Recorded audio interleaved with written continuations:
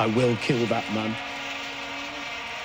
I don't care how many arrows they feather me with, how many spears they run through me. I will kill that horn-blowing cunt before I fall.